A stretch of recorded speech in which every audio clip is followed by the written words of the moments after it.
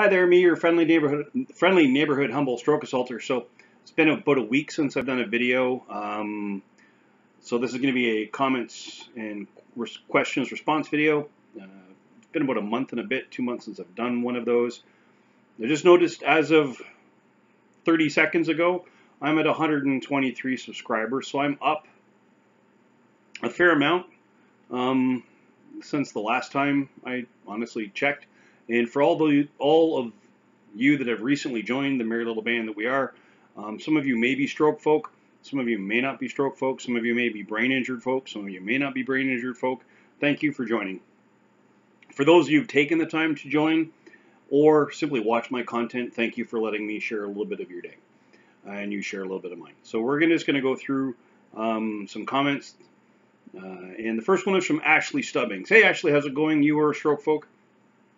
You said uh, in response to the video I did, just a quick update. Um, you're glad that I'm okay, and you apologize for not being in touch lately. Hey, you know what? Life gets in the way. I understand you recently been in hospital. Hopefully nothing too serious, too complex, but I do hope you're on the mend. Uh, Revolutionary Truth. You've recently become my spell checker other than my girlfriend. There was a spelling mistake on a title. I have updated that. So that has been fixed. That was on the um, radical acceptance video. Victor Warrior. Yeah, hey, I saw your comment earlier today. I'm doing well. Bit of a rough patch. Thank you for checking in. Um, and you've left some comments on other videos. Thank you for all the comments you've left. Um, thank you for being encouraging about the content I have been generating. Now, Heather Jessmer, you left a comment a couple days ago on the statin, drugs, and depression video I did. And your husband had a stroke in October. I'm so sorry to hear that. I do know how difficult that is. Uh, you've shown him some of my videos. First, he wasn't happy to be watching them, to be honest. Not sure why that is. I'm going to guess because he got to join a club that no one wants to be in, the stroke club, the brain injury club. Um, and apparently your husband has come to realize that he likes my frank, direct style. And I call a spade a spade. I've always been that way. Um, I've, I've never been one to pussyfoot around an issue or try to put lipstick on a pig, so to speak. Um, and you know what? You're right. You and your husband have the right the right mindset. The disaster you had in your world was the actual stroke. The actual stroke was the disaster. Picking the pieces up afterwards should some days it's going to look like a disaster, but it should be more of a journey. It should realistically be more of a journey. And I'd like to just say if there's anything I can do, if there's something you'd like me to make a video about, please leave a comment down below. You can reach me directly at strokeassaulter at gmail.com or you can reach me on Twitter, and the Twitter handle is in the description down below. You know, um, and you know what? I enjoy sharing my experience. Um, and I find by those of us that have had a stroke or have a brain injury, um, for those of us that have the ability to share our journey, to share our experiences, we can help create a better,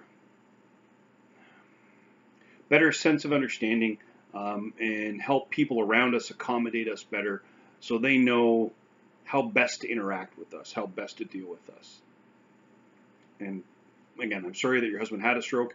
I'll be doing a video probably tomorrow on relationships and stroke. Right? Then comes Angie Angidel66. You left a comment about a week ago. Um, you are in the US.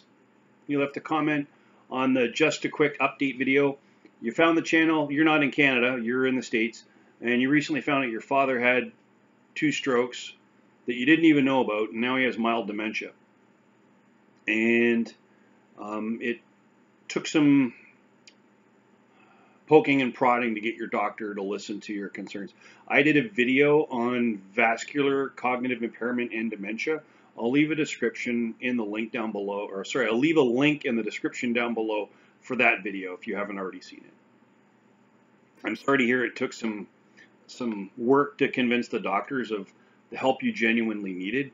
I know what that is like when your doctor isn't being the best advocate for you.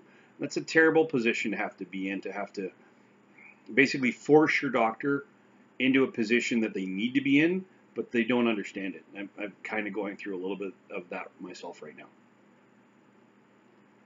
Then Kundalini Rising, you left a about a week ago. You left a comment on my video about sex after stroke. Yes, I did a video about sex after stroke. Um, you had a stroke in your left cerebellum. Um, you're always fairly, fairly active and in good shape before your stroke. And then you give me more information about your personal life than I really need. Thank you. I'm not going to read the entire comment uh, simply because I don't think it'd be appropriate. However, if you're having the difficulties that you are, I'm going to suggest you go and see doctors. What doctors that is, I don't know. Um, I'm going to suggest you're going to start out with a cardiologist. Um, I'm going to suggest you go see a thoracic surgeon. Um, basically, go to your clinical team and talk to them about your concerns and your issues, your needs, and help them generate a plan. I'm just going to leave that there. For those of you that want to know exactly what he said, please go to the Sex After Stroke video. I will leave a link in the description down below and you can read the entire comment there. Now, I have a lot of international content that because of this video. So the next comment I have is from Argentina, from Maximiliano Bonzon. I hope I said that correctly, and if I murdered your name, I apologize. I'm a white guy from Canada. Um, you left a comment about a week ago on the self-harm and suicide after stroke. Uh, you are 48 years old. You had a stroke about a year ago. Still can't move your hand to open it, but you can close it though. It's one of your major issues.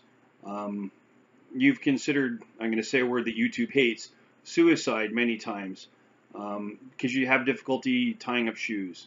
Now, you've seen me move my hands, right? I'm, I'm going to be doing a video shortly about your stroke versus my stroke. You can't compare one person's experience to another. I don't know what the healthcare situation is like in Argentina. I don't know what type of treatment you received in Argentina. I don't know a lot of things. So I, I can't speak specifically to your situation about what happened in Argentina. But what I can say is this. I didn't have a lot of difficulty moving my hands after my stroke. I had some right hand weakness. Um, and I worked on that. I did exercises through physiotherapy and occupational therapy, both formal with therapists and on my own. Um, I've, I've, done a lot of exercises uh, to, to make things work. One of the simple things, I would put change, um, like quarters and, and, dimes and pennies, various pieces of, of, of, of, money that were, that were coin on my kitchen table, and then I would simply practice picking them, picking them up that helped a lot with dexterity. Um, I would do things like hold a knife and then chop food, so like celery and, and, cucumber, and you'd end up making a salad by the end of it, provided you don't end up looking, you know, with missing fingers. Um, so yes, my difficulties were my my feet, my right foot specifically. Um, I still have foot drop. I still have a problem with the stepping out with the full gait uh, at times. So I have I do have some difficulty with my feet, not so, so much my hands.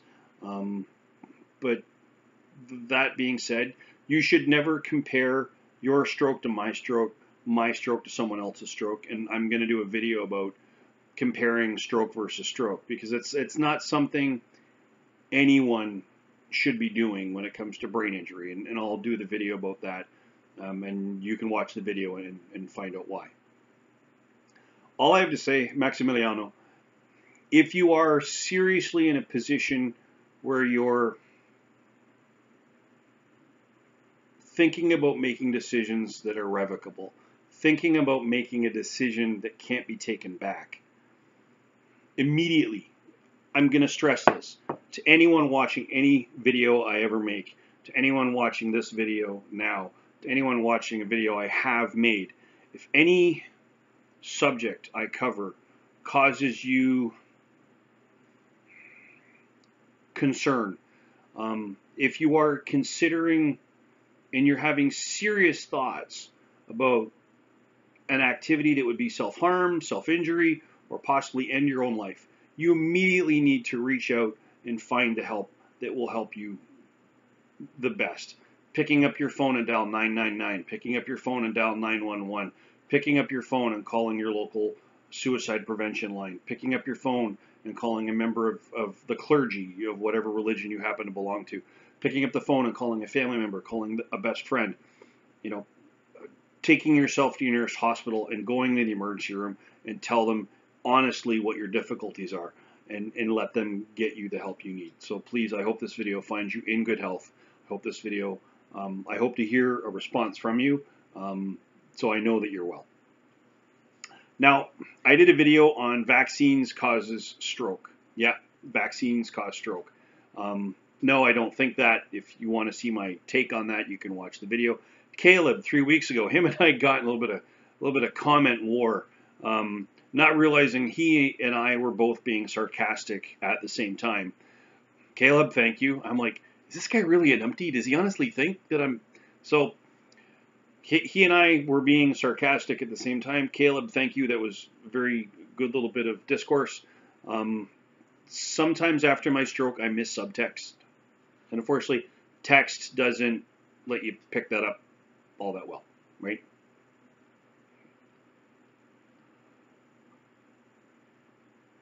Then we have uh, Caleb Musa. You're one of the old one of the old folk around here. You've been here with the channel for a while.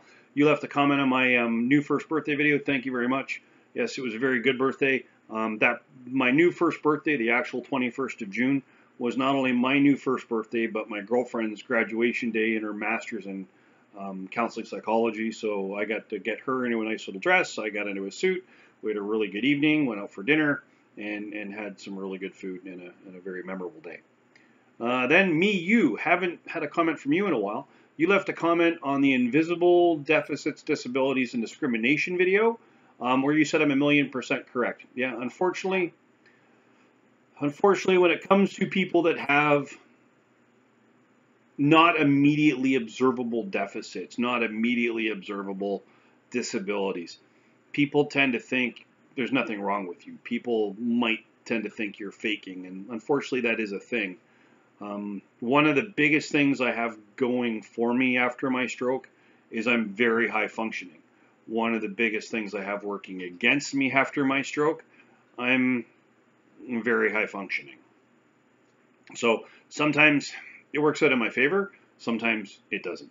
And unfortunately, for those of us, and it doesn't matter if it's a stroke or not, um, for someone who has something as simple as celiac disease, a, a major foodborne allergy where you are allergic to gluten products or products that have been contaminated with gluten. Um, people may not understand what celiac disease is.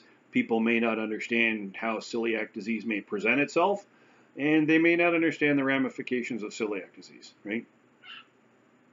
Then we have Jenny O'Connor. She left a comment on my video about balance and dizziness after stroke. Um, and her comment was, Dr. Google saved my life. My, neuro, my neurosurgeon ignored me and almost killed me. Let me just say this. For my videos, I use a lot of Google for research. Um, I'm not a big fan of Dr. Google. Okay? Because unfortunately, no one has more psychiatric and psychological problems than a first year psychology student in university because they're reading all the books. Um, now, what I would suggest is if you honestly believe you have a concern, do the research you need so that you can then go to an, your actual doctors and go, this is my concern and here's why I have that concern, right? Um, and then let them make the decisions from there. Please do not use Dr. Google to try to try to, to try and diagnose yourself. So, however, I'm glad to hear you were able to get some information from the sounds of it, that you were able to present to your neurosurgeon, and you got an outcome that was favorable. Didn't sound like it was successful in some cases. Now, Ann Johnson. Ann Johnson, you're in Scotland, and I've had conversations with you on Twitter. Um, you have had a concussion, and you have a brain injury because of it. And your comment was, thank you for educating people about strokes. There's so much uh, invisible disabilities with brain injury that people just don't see. I think it's horrible that someone would accuse you of not having had a real stroke. She left a comment um, on the video I did about so you didn't have a real stroke. Um, that's not something I've personally encountered. Um, no one's actually said to me you didn't have a real stroke, but that video was um, conceived because of comments on Facebook on some of the Facebook groups I belong to. Um, you know, and unfortunately, when it comes to deal with brain injury, when it deals with stroke, um, you know, if you've been in an actual accident where you've incurred a brain injury, um, or you've been involved in a traumatic life event where you've incurred a brain injury, um, that's not to say a stroke isn't a traumatic event, right? But you've been in some kind of like, for the guys and ladies in the mill, you were in a IED attack, um, or some form of tick, like you were in contact and something went sideways and you end up with a brain injury. Um, you're in a car accident, you know, you you get hit on the head by a forklift at work, whatever the case may be. Um, for those of you that had a traumatic brain injury or an acquired brain injury, like Anne, you had a concussion, or myself from a stroke, right? For people that have had accidents, it's easier for people to understand, oh, you had an accident. For people that have had a stroke, for those of us that end up fairly high functioning, there are a select horrible people population that sometimes might think that you didn't have a real stroke, right? And then there's Penelope Rose 7577. You left a comment on my video, not such a good day. You're from New Zealand, so I've got Argentina, I've got Scotland, uh, now I've got New Zealand, We've also got the States today. Um, she had a severe stroke back in January of 2018. And if you can hear that, that's Crash the Wonderbird talking to himself. I'll be right back.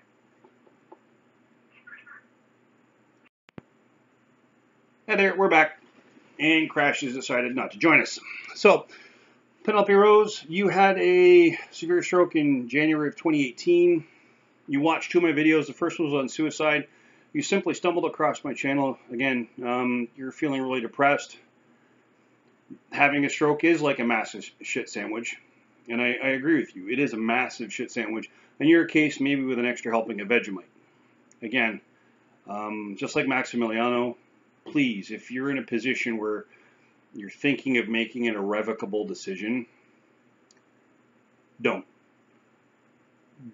Follow my advice I left for him pick up your phone, dial 911, 999, whatever it is in New Zealand, because I honestly don't know. I don't live there. I'm in Canada.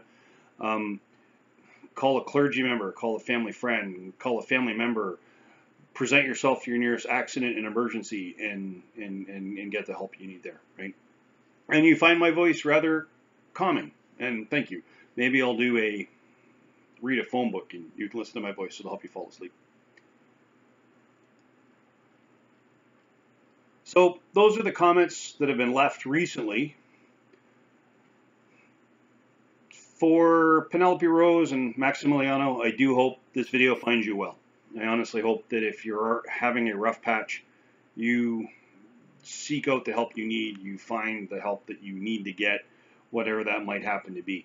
Um, you know, for those of you that have recently stumbled across the channel, for those of you that have been enjoying my channel, for those of you that subscribe to the channel, thank you for taking some time out of your day to let me share some of my day with you.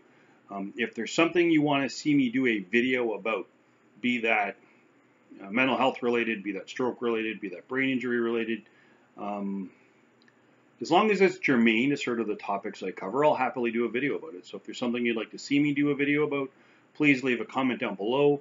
Um, or you can email me directly at strokeassaulter at gmail.com, or you can find me on the Twitters. My Twitter handle is in the description down below.